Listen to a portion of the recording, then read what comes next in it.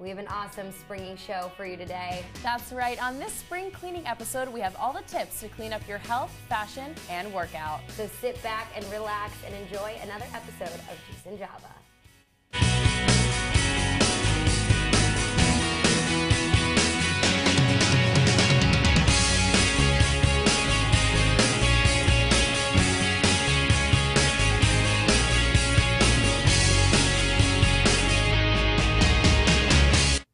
Good morning, Salt City. Welcome to our spring cleaning episode. I'm Mia Rossi. And I'm Maddie Stussman. Let's head over to the squeeze.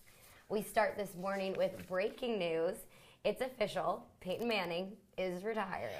Finally, after all these years, and he's going out on top though with his Super Bowl That win. is true. I like how you say finally. I mean, he's, he's one of my favorites. So I mean, I feel like he has been around, you know, for a while, which Yes, he has, and he's you know, getting old in terms of football Yeah. years, and you know everyone's kind of been speculating when is this time going to come. Yeah. I I think he's he's doing it at the right time, going out I- on top. Like, I agree. Like you said. well, our next story: the producers of High School Musical four are searching for five new lead cast members for the movie. It is confirmed that none of the original cast will be returning. The movie will have all new characters, including Aaron, a soccer player who falls for the bad boy, Campbell, who is Troy Bolton 2.0, a super hot soccer theater star who happens to be Sharpay, and Ryan Evans' cousin, Nathali, an outgoing cheerleader, and lastly, Tamara, the former queen bee of East High, who is attempting to climb up the social ladder. Producers hope to start filming this fall. I'm excited. I am too. I found out actually, my sister texted me and she was like, High School Musical 4, it's official. Like, go audition right now. She's like, I want to like be in that movie. I feel like the cast now is so far removed from um, when they were in it because they were so young, and now like Zac Efron is, you know, in all these movies Right. with um, like James Franco I know, or they are so David grown Franco, up. and he's But I would love to see them in this movie. Like Yes, they I- are High School Musical, and in High School Musical three, it seemed like they kind of set it up for a new cast. Yes. And then none of those cast members are going to be in it, so it's Uh-huh. going to be all new. I do think it's very removed. So Yeah. I don't know. We'll see. I love High School Musical. So. I love High School Musical too. I remember going on my like 13th birthday to see High School Musical. So it was a while ago, Yeah, yeah. it was a while ago. well, um, our next story is about emojis. Um, have you ever thought about what emojis are really available? Um, the new Like a Girl video points out the lack of emojis that accurately represent girls. Most of the current female texting characters show girls wearing pink, painting their nails, getting a haircut, or dressed as a bride. There are boys rock climbing, playing basketball, and bike riding, but no emojis of girls doing these activities. Research, research shows that 54% of girls ages 16 to 24 believe female emojis are stereotypical, and half say they believe they represent only a limited number of female interests. I kind of agree with this. I do too. You know, I never noticed it until I saw this video, which I actually saw yesterday just on accident. It started Yeah. playing on YouTube. And, you know, I was intrigued. I heard what was going on and I stopped what I was doing and watched. And I had no idea. And then I went and checked my phone and it is You know so what? true. And in the um, in the study, they talk about how it's something that you don't realize until you think about it, and once Uh-huh. you see it, you can't unsee it, which is so true. Yeah, I know. i'm mean, think about it every single time now. And it's just like, I don't know, what were some of the examples? Just like every character, every person that's doing anything Well, they said athletic. like the only women profession that is represented is um, like a woman as a bride, and if you consider Oh, that, uh, yeah, Wow, if you consider is- that as a profession, meanwhile they have like um, I think a male police officer and stuff. So Well, even I'm picturing the bicep emoji Yeah. reason, Yeah. and like that's a boy. Yeah. I- it really is true. So I am glad it's something that we're yeah, hopefully it'll of. be fixed. Yeah. Well, up next, NASA has released a recording of outer space sounding music from the far side of the moon. The music was found by the Apollo 10 astronauts while they were circling the moon almost a decade ago. The transcript of their conversation was released in 2008, but the audio has just become public. Have you listened to this? What are your thoughts? Um, I haven't listened to it, Uh-huh. but I am very interested to see, and it's interesting that it's coming out after all this time. Yeah, I know. I think it, that is kind of odd that it's taken so long. I'm really not interested in listening to it. So Yeah. that space really gives me the heebie-jeebies, and um, like hearing those sounds, I think would just be a little odd. I agree. Unfortunately, it's not something I'm very interested in. But Well, I'm not sure if astronauts will have this problem, but new research shows that your job could actually be making you fat. Scientists say that people in some professions tend to have more unhealthy habits than those in others. Salespeople were among the least healthy of workers of those in the study, with 68% of them having poor eating habits. Many fire and policemen were found to be overweight, obese, or having high cholesterol and blood pressure levels, and those who work in transportation made the list because of their smoking habits. The study found that a quarter of these workers haven't quite quit the habit. So I'm hoping that my job won't put me in one of those well, we categories. Are sitting down right yeah, now, we are sitting being down. active. It's true. it does make me very nervous. I mean, I remember I had an internship, and it was just an environment where there was always food out in front of me, Yes. and I consciously, like, because of that environment, was putting on weight. And so it is very true. Where you are can Uh-huh. really affect what you're eating, how active you are. Like they said, sales. You know, you're sitting at a desk all day. So Uh-huh. and especially like stress could be contributing to those who um, uh, have like smoking habits or yeah, exactly. They um, mentioned smoking was one of the factors. yeah, and like they uh-huh. said, transportation workers have smoking habits. I mean, even though it's a bad habit, I can see how you know if you're, um, you know, driving all night, Right. very, it's very stressful, a lot of lot to think Well, about. f- firefighters surprised me that they were on that list. yeah, I they have to be so active. uh-huh that their job, yeah, is like that. So I guess you never really know. I will see when we get into the real Yeah. world. Hopefully, I don't fall into one of those categories I know, seriously. Well, fashionistas may need to up their game. Writer and photographer Ari Seth Cohen is on a mission to disprove the granny stereotype. Cohen showcases men and women above the age of 60 who are defying how society looks at aging. His books, Advanced Style and Advanced Style Older and Wiser, are a series of photos showing the grace and creativity of aging. Cohen says they aim to send the message that growing older is a natural part of life. I love this. I, I haven't seen these photos yet, Uh-huh. but I I've heard really good things and that they Uh-huh. really are like probably more stylish than we are. Yeah, well, we have this one- this um, one woman or Oh, two, and they look beautiful. They're like more fashionable than I am. I would never even think to wear that Yeah. belt. She's rocking it. Like, and they're um, the one um, in the red has those trendy glasses on, which are so in right now. I don't think I'm gonna look like that when I'm Yeah, at that I can only Just hope. Physically, they look so great, and the way that they're wearing their clothes is so cool. Well, also they look just like I feel that I've seen models like closer to our age who are wearing similar outfits, outfits, and in uh-huh. similar places in magazines, and these women look just as good. Well, that's So- awesome. I mean, if that's like a hobby for them, like shopping and wearing these styles. Yeah. I know my grandma does not look anything Yeah. like that. But I wish maybe I should show her these photos and yeah, I guess, I guess it shows that at every age you're still like aspiring to look like that. Like there's always someone in the fashion world who you're like, I wish I could look like I that. know. well, we'll see when we get there. Well, um, in other news, sad news, music fans are mourning the loss of country singer Joey Feek. The singer died on Friday at age 40 after battling cervical cancer. Feek was able to see her daughter turn two before passing away. The country community is rallying around the family, sending their love via social media. Her husband Rory has said the family is coping and trying to focus on remembering the full life Feek lived. The family is planning to return to their Tennessee home for a private family funeral. Yeah, this is a story that has gotten a lot of attention, and Mm-hmm. we've kind of seen her go through the process, and um, you know, with her daughter turning two, and Yeah. I've seen all these beautiful photos of them together. Yeah. And they've really been like enjoying their time together, and like the country commu- community is one that's so supportive. You know, I'm Mm-hmm. Yeah. a big country Yeah. Yeah. Um, so I don't know. I you know, it's a great story, and she was a great artist, and, And hopefully, this, you know, although it's such a sad story and, you know, unfortunate that it happened, hopefully she can bring, you know, awareness to um, cervical cancer Uh-huh. and, and, you know, um, really being aware of your health in that. Yes, I, I definitely think this story does, as many other stories have as well. And it was uh, they they released photos. I think just today of People Magazine and Yes, I did see yeah, that, People uh-huh, Magazine. uh-huh. Her daughter is adorable. Yeah. Um, well, Matt Weinstein will be with us in studio to talk about all the steamy things happening right now in politics. Stay with us. We'll be right back.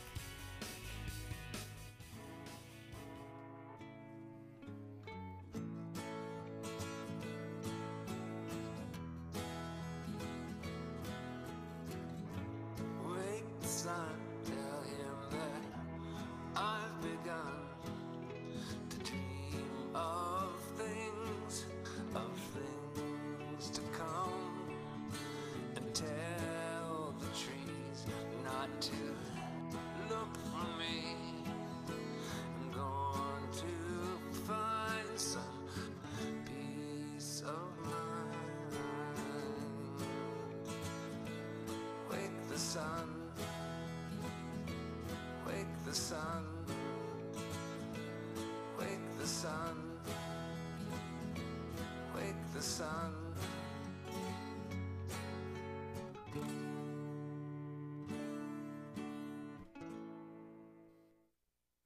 So, I'm kind of new here, but I've noticed a trend. My human does this funny thing where she goes around and gets all my toys, and then she hides them in that basket by the door. You know, but it's always the same basket, and it's always in the, in the same place. And then she acts so surprised when I find them, but, you know, she's putting them in the same basket. Again. It's like, hello, that's where you put it last time. You were the worst at hide and go seek. Welcome back to Juice and Java. Matt Weinstein is here with the brew to talk about all things politics.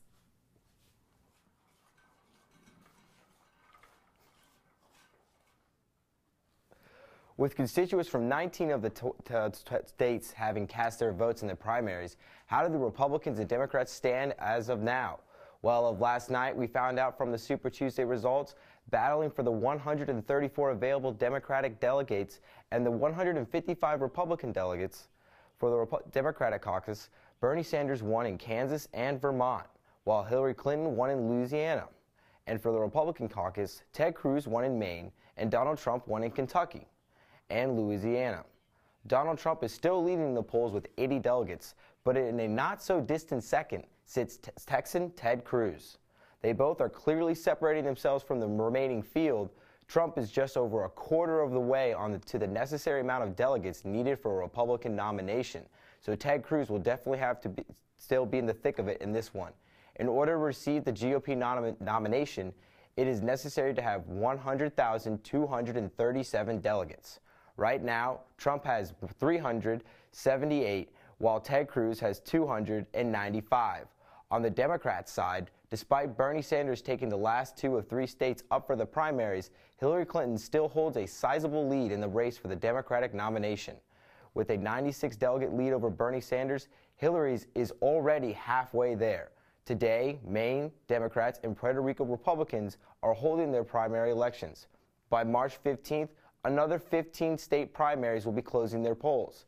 Bernie and Cruz may have the most important stretch of their campaigns underway now because by March 15th, those 15 primaries will be closed and those delegates will have decided if the political game is going down to the buzzer or going to turn into a blowout.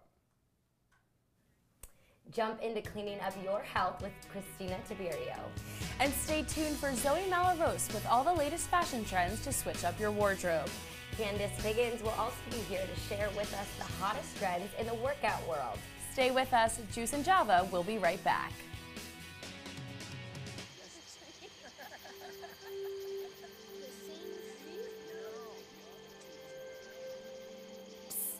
They're coming. Places, everybody. Light check. One, two, one, two. Everything looks good on our end. And lights. Come alive with the forest. Visit discovertheforest.org to find a forest near you. It may only be March, but to get your summer body ready, you might want to think about starting now. Are you looking for an alternative to working out in the gym? How about trying yoga? Yoga with Dara.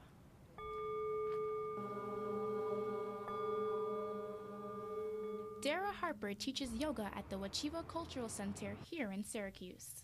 A college student named Austin Arrington says he is glad to have found an alternative form of exercise. feeling in touch with my body, healing, you know, some things, stretching. Um, also, I think mental clarity, sense of peace uh, through the meditation aspect, and also um, sense of community. Dara says relaxation is vital, especially for people in this day and age. Having a few moments of you didn't see like one phone in the room, nobody was being dinged or pinged or texted or vibrated. Everybody is just relaxed. And that's a very important part because you need to connect back in with yourself. And if you don't take that time of quiet for even just a second to be mindful, it's very difficult to to understand what your life is becoming. The Wachiva Cultural Arts Center aims to better the society through the promotion of fitness and multicultural dancing and drum. Their program unifies people of different backgrounds to accept and engage others through the various classes that they offer. They are located at 117 Harvard Place in Syracuse, New York. The center also offers African dance, cardio salsa, and flamenco to help get you in shape while having some fun. And guess what else? You can get a discount by showing your student ID. And transportation, no worries. The free SU Shoppington bus will get you there in a matter of minutes. Thank you, Candace. And now we have Christina Tiverio joining us from What the Health to talk about some healthy meal options for spring. Thank you for coming in. Thanks for having me. All right, so we're starting with something that visibly is not healthy, Yes. right? You don't think of this as healthy food. No, not at all. Even though that Oreos are vegan, they're not. That's even scarier that they are vegan. Uh-huh. But one of the things that I try to do is I find that when I'm really craving foods, it's really protein I'm craving. Okay. But if I want sweets, I'll mix dark, dark, dark, dark chocolate because it'll cut. Which is good for you. It's good for you. Uh-huh. and it cuts your craving for chocolate, and then you mix with peanut butter, and it will stop. Like you don't want anything. Oh, that's so sweet. interesting. I'm assuming these like cookies don't have dark chocolate, right? This is the No, unhealthy. Just go straight for like the bar, and then if you're really craving like ice cream or whatnot, Yeah. there is something called Halo Top. Okay. Um, and that's 200 calories. Okay. 300 And will make you feel full, so you'll Yeah. stop, right? Oh, wait, so now we have another alternative. So this might not look the best right now, Yeah, but you need to like rinse it, but it's actually like pre-cooked, so you could eat it straight if you wanted to. it's a tofu-based It's alternative? Tofu-based pasta. They're Uh-huh. called shirataki noodles. Okay. Um, there's also yam-based ones. It's just the kind of noodle. Uh-huh. Um, they're like 30 calories for like Yeah. the whole bag. So if you're And cutting out carbs. If you're cutting out Yeah, carbs, uh-huh. and they're best, I think, for like Asian dishes and Uh-huh. not like Italian. But you could totally go for it. There's thinner fettuccine or thinner noodles. That's an awesome alternative that I feel like a lot of people don't know about. Yeah. And then sugary drinks. This Sugary is a killer, drinks. right? Yeah. Uh-huh. So I carry around uh, sparkling water everywhere I go, and you should be drinking two of these a day. That's hard. People That's do not reach yeah. that number. Uh-huh. And three if you're exercising. Yeah. So one of the easiest things I think to like cut down sugar is adding frozen fruit right here Uh-huh. into this and some herbs. So you could do mint and blackberry. And then you'll drink a lot more. Yeah, and that you'll goes drink a lot more. perfectly with a healthy little salad. Can you tell us what's in yeah, here? Yeah, so this is a great mixture to cut all the dressings, which is usually the unhealthy part. It has prosciutto, nectarine, some parmesan, Yeah, it looks and great. peppery arugula. Uh-huh. And you don't need any dressing. I think I'm gonna try it. This is perfect. Getting ready for spring break, eating healthy. Christina, thank you so much for showing us all these great alternatives. Those health tricks will help shed the extra pounds, perfect for a new wardrobe. Here with us now is PR Director of Zipped Magazine, Zoe Maliaros, to tell us how to switch up your spring wardrobe. Welcome, Zoe. Thank you, Mia. I'm so happy to be here. Thanks for joining us. So first, let's start off with talking about your outfit. So I love it. Thank by the you. way. Thank you. I figured it's a little bit warmer out. It's getting a lot sunnier. Exactly. So try and brighten up the colors. I'm not super Uh-huh. into like bright colors, but just a little Okay. bit lighter than maybe some of the blacks or deep so, grays. Are you more into like pastels? I see your vest is kind of like yeah, yeah. that. Is it pink almost? A little bit. It's very, very pale. But yeah. Yeah. definitely as it gets warmer and like the, like I said, the sun is out and trying to just brighten up the colors and make it a little bit happier, I so guess. So would you say this outfit is like something that you um, took like winter clothes or maybe transitioning into spring? Yeah, for sure. I mean, I know everyone's been, been wearing turtlenecks like all winter and Yes. jeans for sure, but maybe just kind of like shorter ankle boots or just substituting a full jacket for a vest and things like that. So definitely working with your closet to kind yeah. of So what- minimize. What, are some of these pieces that you have here? Well, today I brought just a couple of leather jackets with t-shirts underneath, whether Okay. you want to like tie it or just leave it as like a full stripe shirt right here and just kind of pair it with I- any jeans. So this one over here has a tie up here. Yeah, so cute. super fun. But it's just kind of like we're talking about spring cleaning, so using what you had all winter and just kind of minimizing it down to make it better for spring. And what are some items that maybe if you're doing spring cleaning, cleaning out your closet, and you're like, oh, I don't wear this ever. What are some items that people maybe should think about keeping around the, uh, to make a spring outfit? I definitely think the best thing to keep around is something like a vest because Okay. I know you were probably wearing like fur vests all winter, things like that. I did. I got two. I like searched around They're all winter break for like the best Exactly. ones. So I'm sure other people search around for them and really strategize their shopping. So it's definitely a great thing to keep around just with like a lighter shirt, maybe substituting like a turtleneck sweater for like a turtleneck t-shirt, things like that. And now, what about shoes? I know in Syracuse we're all about the boots, all about the snow. Right, right. So how can we get spring shoes or transition from winter to spring? Definitely putting away winter boots and things like that. I know Okay. that I The have snow kind of have are my- not okay Right, I've shoved them in snowing. the corner and kind of substituted for ankle boots, things like that. Kind of those slip-on sneakers, and sneakers are also huge right now. So things like that that you're not really afraid to. Um, get wet or Yeah, 'cause those, I noticed those? Adidas sneakers. They're which- everywhere, They're yeah. everywhere. I feel like those were popular when I was like in middle school or something, right. and now I'm like, oh, I should get another pair. I know I was joking when I bought mine that I should have just saved them from second grade or whenever they were popular, but those are huge right now, especially for like doing things, activities with your friends and things like Uh-huh. that. They're so Walking comfortable to, be wearing. Yeah, they're great. I love them. And they go with, I mean, they look great with these leather jackets or jeans, whatever. So. And so, just to end, what would be your number one spring item to have?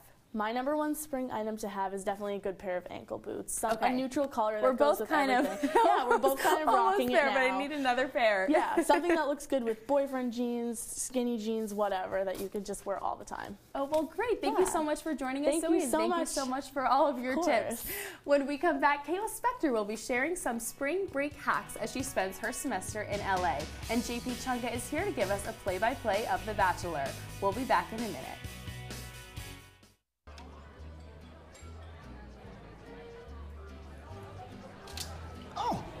Got it. You know, since I got rid of my car, I really enjoy walking. Okay. God, no. Getting pulled over for buzz driving could cost you around $10,000 in fines, legal fees, and increased insurance rates. Oh, you're home early. You live with your mom? That'll set your game back a few years. Buzzed, busted, and broke. Because buzz driving is drunk driving. So, I just moved in with this family, and it's embarrassing.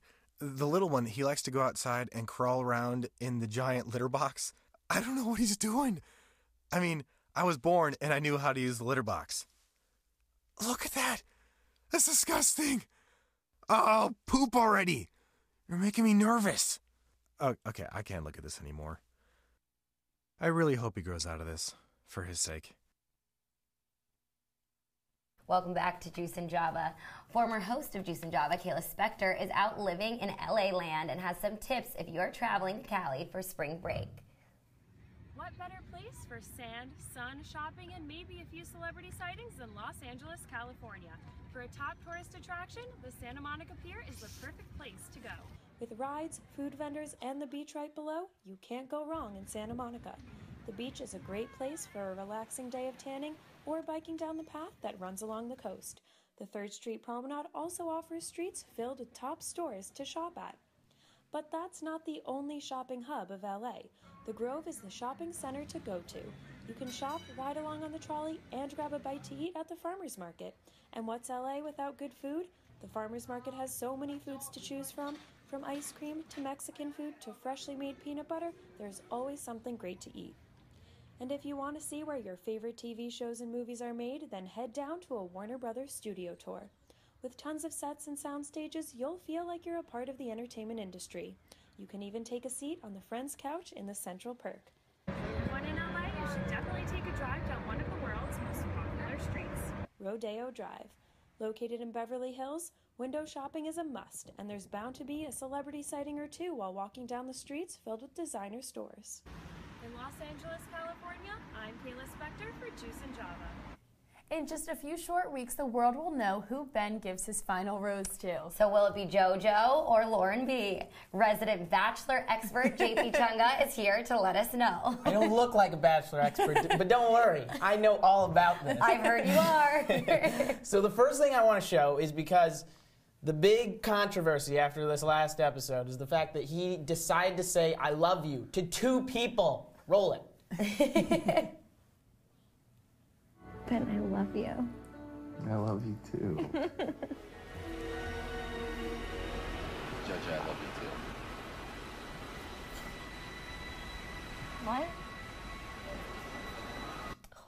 What is right? Why did he say that to two people? I feel like they never say it at all. Exactly, it was Like that's like a unprecedented. bachelorette You think thing. they're not allowed? Yeah. They aren't because you have to make sure that the race is open for, Right. for everybody. Yeah. He's been favoring Lauren B this entire season. Uh-huh. We've seen it. Uh-huh. But then he tells her, I love you? What's going on? Okay, Lauren B's reaction was not as good as JoJo's. Did you see that one? JoJo was so surprised. Lauren B was just like, I know. Yeah. but it was so beautiful because they were able to spend the time together in the fantasy suite. This was a big episode. it was massive. Huge. Kayla started off this episode with a terrible date. I'll go Oh, ahead and say it. It was painful. It was painful the to awkward watch. crickets. Yeah. I don't know I'm Kayla's biggest fan though.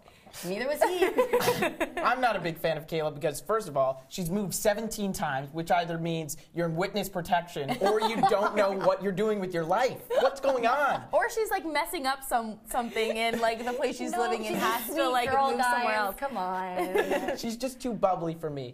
this date, though, with Lauren B., where they're cleaning turtles. Yes. How does a regular person compete with that? Honestly, I look at that and I am so done. I, I can't even do anything about that. This is the opposite of his time with Kayla. They're doing like the cutest thing. Yeah. No awkward crickets. They're having a blast. Because he loves her. He loves her. And then they start the fantasy suite, and it's just perfect with them. But in the jungle, the mighty jungle, JoJo out there ready to Oh, go. She's my girl. She was the oh, you're best. a JoJo fan? I love JoJo so much. too. She was everybody's like mean girl best friend that Yeah. everybody went over to to talk after Ben screwed them over or something. and now she's in the final two. Her I'm ready for the her. spotlight. She looked great also in this episode. Very well dressed. Um, I agree. I know. I always think about um, if I like went on The Bachelor, I'd have to buy like a whole new war- wardrobe. and they do. Yeah, they style the Bachelor or the Bachelorette. They don't style the contestants. So. Mm. JoJo looking good. She's the best dressed, about to get undressed in that fantasy suite right now.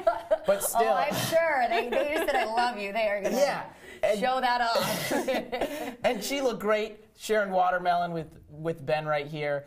Oh, I think he even said that morning, he was like, You look beautiful when you wake up. And she sure does. that is like the best compliment. I know. I have a girl crush on her, I think, officially. I have a regular crush on her. As uh, Kayla decided to Ugh. to go over to Ben and and just surprise him all of a sudden out of nowhere. Bad move because that's when you got eliminated. hmm It was It's a one of shame. one of the worst moments in Bachelor history watching that. I just felt physical There's pain. always there's always someone or a moment where it's cringeable on, on The Bachelor. and that was most definitely a cringeable moment. Well, I'm so glad that you are enjoying this. Women Tell All is next week, right? I- that's probably one of my Or favorite this parts. week. Or Get ready this- for yeah, Lace. Tomorrow. Get Yeah. ready for Lace to bring the fire. Olivia And as well. Olivia, Oh, yeah. my hero. well, we have a lot to look forward to, and thank you so much for Thank coming Thank you in so again. much. no problem. Well, speaking of relationships, ending your relationship just got a whole lot easier. Two Canadians recently created a service called the Breakup Shop, where they will break up with your significant other for you. Their most popular services are the breakup text and the breakup phone call for $10 and $29 respectively. So, my first thing that I noticed about this is that the $19 price difference between the breakup text and the breakup call. I, what is this? I, you know what? The world is getting crazy. Do your own thing. Everyone wants to do communication some weird way. Yeah. Anyways, we want to thank you for joining us on this spring cleaning special episode of Juice and Java. Make sure to like us on Facebook and give us that double tap on Instagram. We'll see you back in April. For Juice and Java, I'm Mia Rossi. And I'm Maddie Stessman. Have a safe spring break, Syracuse.